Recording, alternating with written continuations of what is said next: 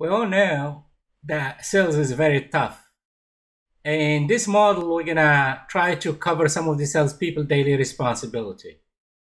So the first one is you gotta prospect and identify potential customers almost every day.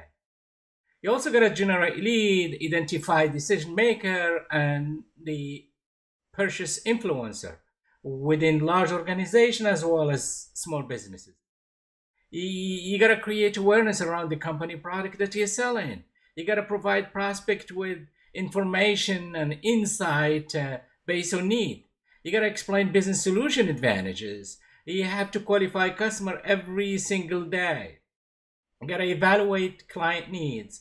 You will have to listen for cues while you're having conversation with your customers. You got to negotiate, negotiate and persuade and influence your customers. Uh, in, in addition to negotiation and persuasion, you have to close deals. That's the only way you're going to make some money at all. If you don't make money, you're not going to last in business, of course. And you got to ensure that product delivery and installs are taken care of. It's your responsibility.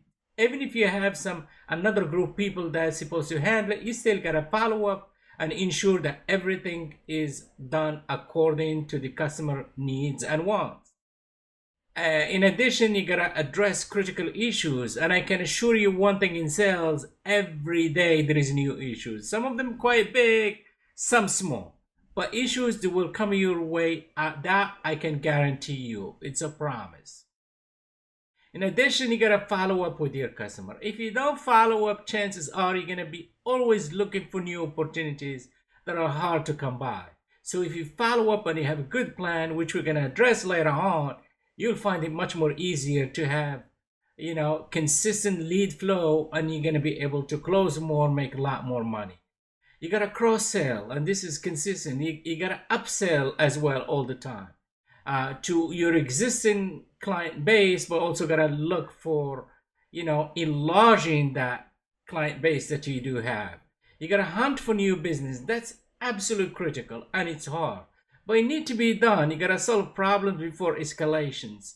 And you gotta network. As you can see, this is only the tip of the iceberg when it comes to selling. Selling is wide, vast, and very complex. And it takes incredible amount of work. I can assure you there is a hundred things that you will be doing in a daily basis, in a weekly basis, in a monthly. You might feel lost sometimes, but hang on. There is money to be made just hang on. I'm telling you, after a while, things get a lot more easier.